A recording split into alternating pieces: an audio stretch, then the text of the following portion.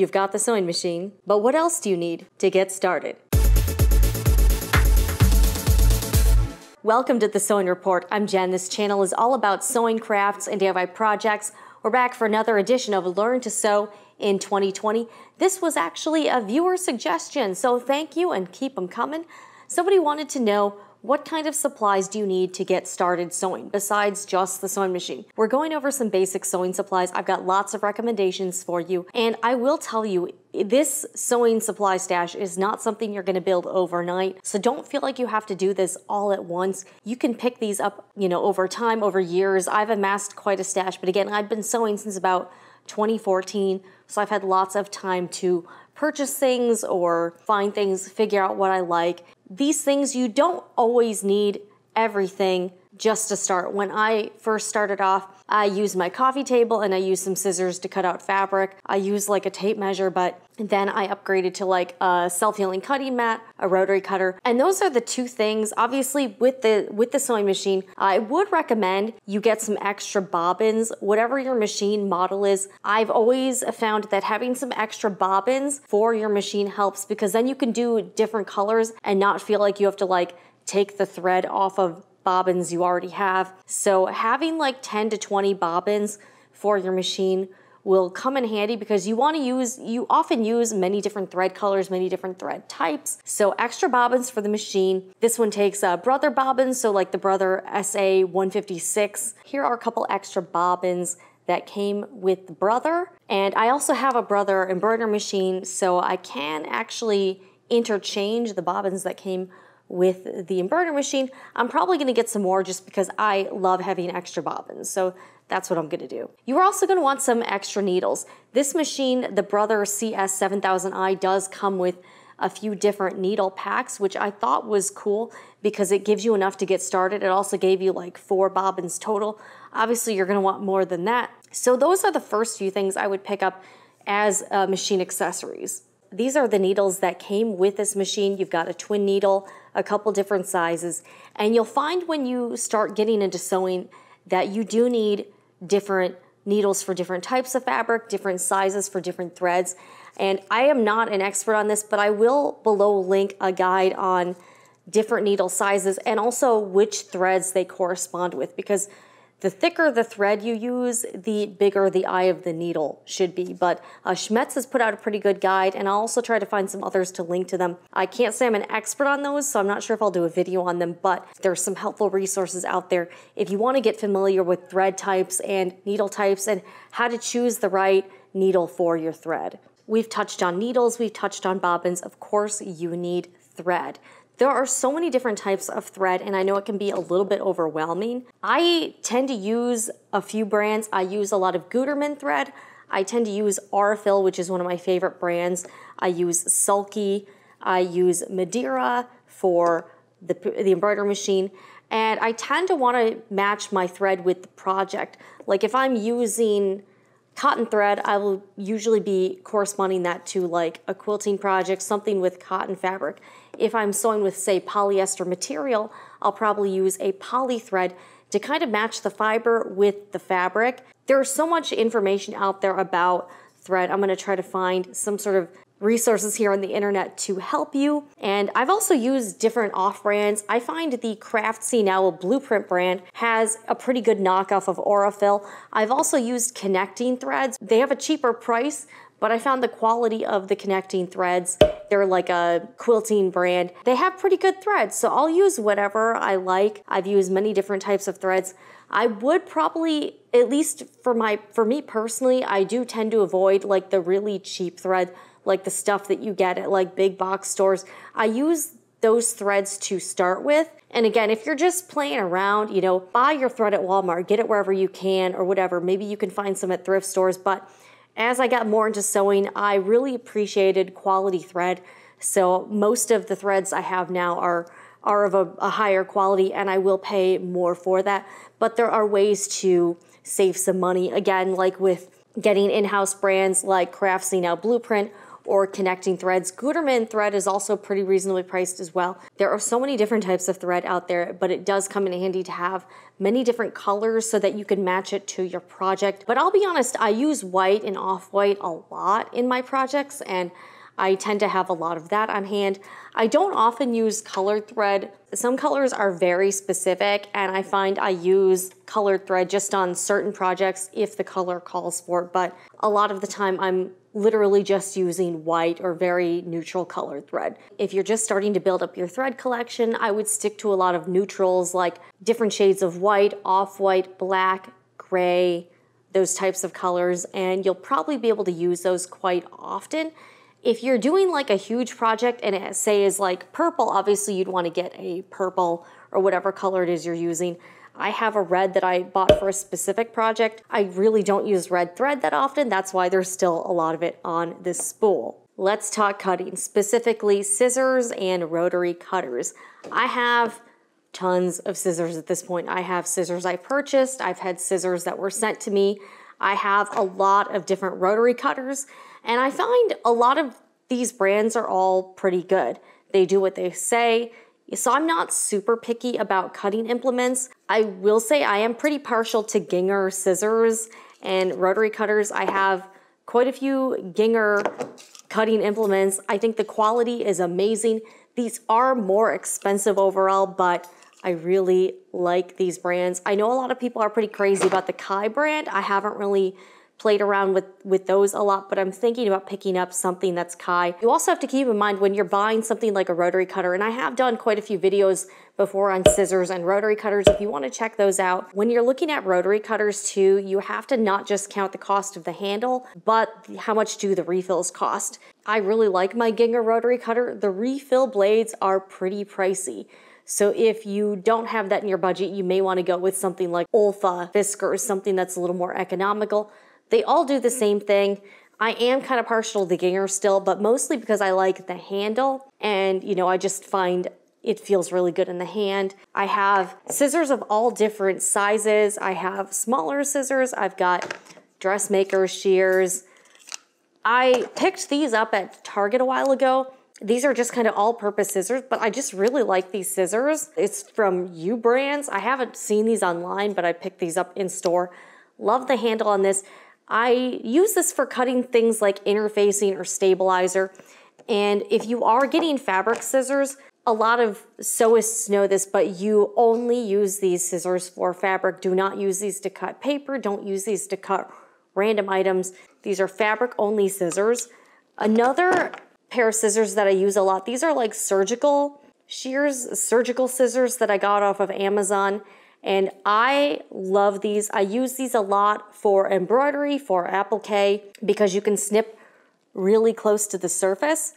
So again, these are great for using as snips. For the embroidery machine though, I always have these and they're pretty, I believe this was pretty reasonably priced. I have a lot of scissors, self-healing cutting mat. That's something you are probably going to want to get if you're getting serious about sewing and quilting. I have all different kinds of self-healing cutting mats. I've had Olfa, I've had Fiskars, I have Alvin, which is a brand I get on Amazon. I have a really big cutting mat I got from Dahle, also available on Amazon. That's my biggest one yet, and that's this blue one.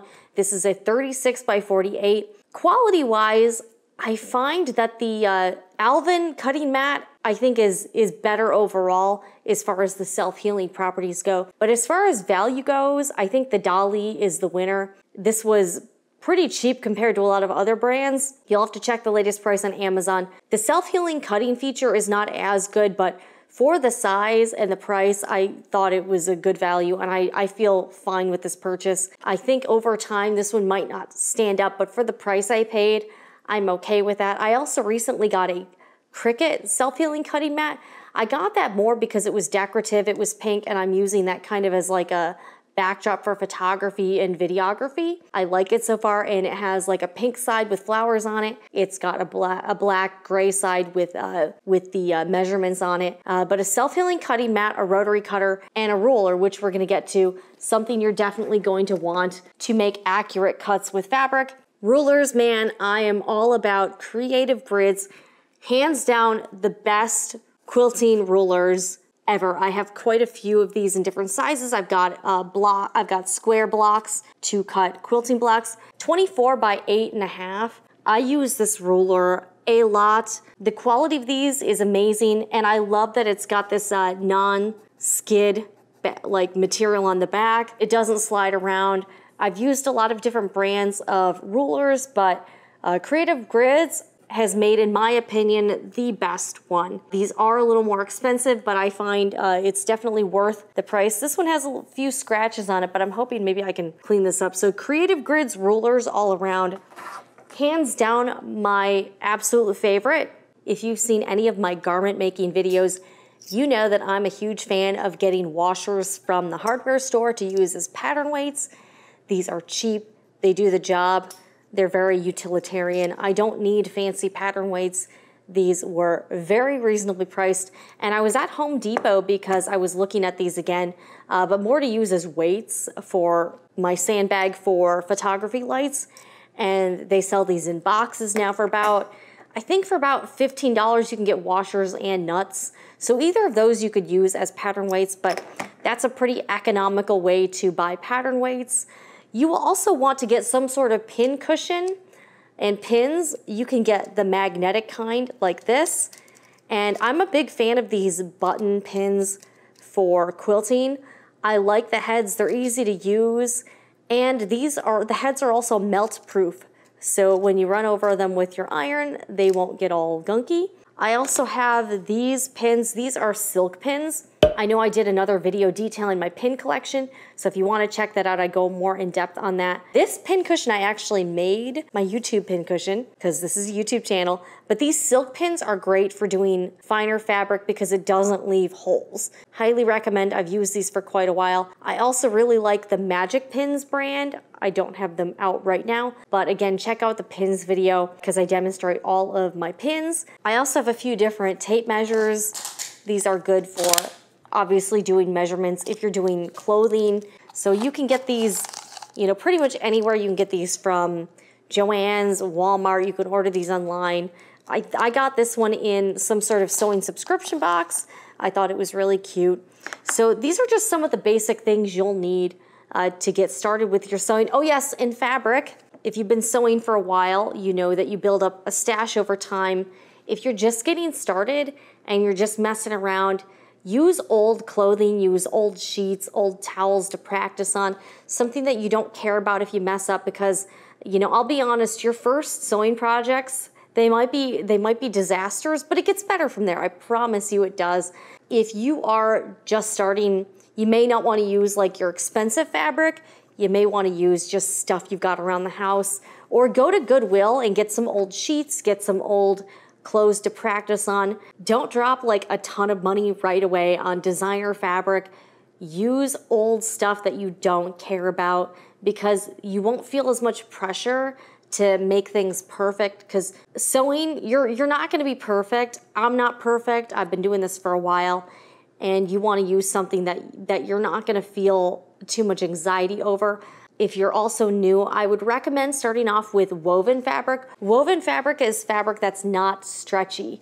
Uh, cotton fabric is really good because it's easy to press starting off and it's easy to work with.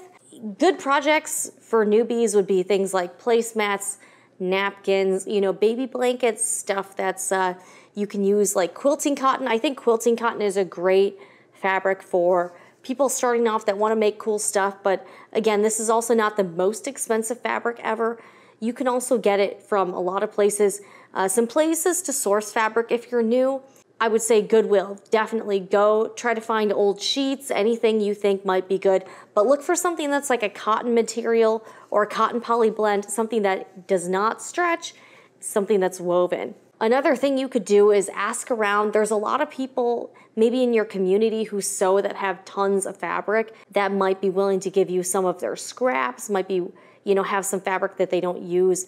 I personally have a lot of fabric that if a family member came to me and said, Hey, I'm starting to sew, I would send them home with a bag of fabric. So look for people that you know in your circle that have been sewing or quilting for a while that might have some extras. So that's another way to get fabric for free or very cheap because I love when people I know are learning to sew and quilt, so I would be happy. I'm always happy to try to help out people who are new and just getting started. They're interested. So look for people you know. If you are looking to pick up some brand new fabric, there are a few websites I would recommend for some good deals. The first one is Fabric Wholesale Direct. I've ordered from there before. I was pleasantly surprised by the quality, especially for the very low prices they charge. I've got a referral link below if you want to check them out. They have many different types of fabric, some real fancy stuff. I also like that people leave reviews and put customer photos of the stuff they've made. They also have videos showing the fabric, like what it, how thick it is, the transparency of it, like what the drape is. And I find that gives you a really good idea of what that fabric is like before you purchase it. I know it can be kind of tricky to buy fabric online because you, you can't see and touch it in person, but I think it really helps. And I think their prices are amazing and you know they've been offering quite a few different types of fabrics in their selection. Fashionfabricsclub.com, another great one. They have like some sort of like, I don't know if they're like wholesale or outlet fabrics, but they don't always have the same fabric, so it's kind of like a limited. If you see fabric you like there, pick it up right away. Don't wait because once it's gone, it's gone. I've gotten some really good fabrics from that site. Also, fabric.com, you can often get really great sales at that site. It is owned by Amazon. The selection is mind-bogglingly huge, but I've gotten some really good deals on fabric.com. Also, uh, This is a more of a quilting cotton website, but they have like the latest designer fabrics and they have a lot of sales. They always have like pre-cuts on sale, certain pre-cuts. They've got a flash sale every day where they have a really good deal on one item. And I've gotten some really good uh, sale items, just 30, 40, 50% off. FatQuarterShop.com. I am an affiliate for full disclosure, but I'm also a fan. I like their selection. I also follow their YouTube channel. They've got some good tutorials. So there's a lot of, that's the good thing about, you know, living in 2020 is there's so many online resources if you want to learn how to do something. So those sites are all, all excellent for fabric. Also, I want to talk irons because that is something you might not think of right off the bat when you're learning to sew, but you're going to do a lot of ironing, believe me, because ironing is a very important part of sewing, pressing an item, pressing your fabric. This is a very cheapo iron. I got this from Aldi for like $12.99. Believe it or not, this is my favorite iron. I also recently did a video on my iron collection and you don't need a real expensive iron. This one works perfectly fine. It's got great steam. Because it was like $13, if this gets ruined, I don't really care. I have quite a few irons and they all kind of do the same thing, whether you're paying, you know, $10 for it or $150. But I would be a lot more upset if something happened to a $150 Oliso iron than I do with my $13 Aldi iron. The last thing I want to talk about is lint rollers. You're going to want to get several of these at a time I use lint rollers constantly in my everyday life and here in my sewing room. There's gonna be like thread and little fibers just all over the place. So just get ready for that. Have your vacuum handy and be sure to have a lint roller because you're gonna use this constantly. I use mine. I have probably like eight at a time. These I think I got from Aldi as well. I'm a big Aldi fan. If you have one near you, be sure to check it frequently. They often have a lot of supplies that are great for people who sew. In fact, in the most recently flyer, I saw a sewing machine, I saw a sewing kit. They have fabric sometimes. So you never know what you're going to find at Aldi, but I think it's a great treasure trove for crafters and sewists because I've seen a lot of things that would be helpful for the sewing room over at Aldi's. So check out your Aldi if you have one, but yes, lint roller for sure. And going along with like the ironing, pressing stuff is uh, some type of ironing board. Currently, I actually don't have one. I need to pick up a new ironing board because I left it behind at an old apartment when we didn't really have enough room in the moving truck. But I've been using this like 24 by 24 uh, DIY ironing board I made. Basically, I went to the hardware store. I got a 24 by 24 inch uh, wood board and I covered it with uh, quilt batting. I stapled it all the way around, and then I just made a cover out of it and that's what I've been using. You've probably seen it in quite a few of my videos here. That was just a DIY project that I did. Works real well, but I know I'm gonna need some sort of ironing board. I do have a sleeve board that I use for things like, you know, pant cuffs and shirt sleeves. Uh, but for the most part, if you're just doing like quilting and little items that you can press flat, just having some sort of flat surface to press on comes in handy. So those are just a few items you might want to pick up if you're new to sewing. Thank you for the viewer that suggested this video. I thought it was a great idea. Down below in the comments, let me know what items do you feel you'd recommend to someone new to sewing and quilting. Let me know what are your like top five items. Like if you have nothing, you're starting from scratch, what are like the first five things you would buy if you had to start all over again or if you were helping someone else get started? Because I'm just curious to see what other people think as well. Uh, but I just wanted to share some of my top picks for beginners. If you are new to sewing or you're just stopping over here because you find it interesting or you have some sort of curiosity, consider subscribing to this channel, The Sewing Report. I'm doing a Learn to Sew in 2020 series. So we're going to be going over a lot of beginner topics and covering some beginner sewing projects and also how to use this machine, the Brother CS7000i. Thank you guys so much for joining me. I'm Jen with the Sewing Report. I'll see you guys next time.